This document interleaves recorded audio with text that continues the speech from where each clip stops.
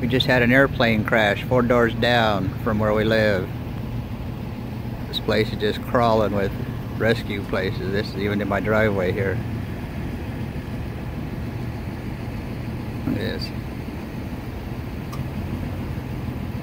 Fire engines and things back, backed up for about a block.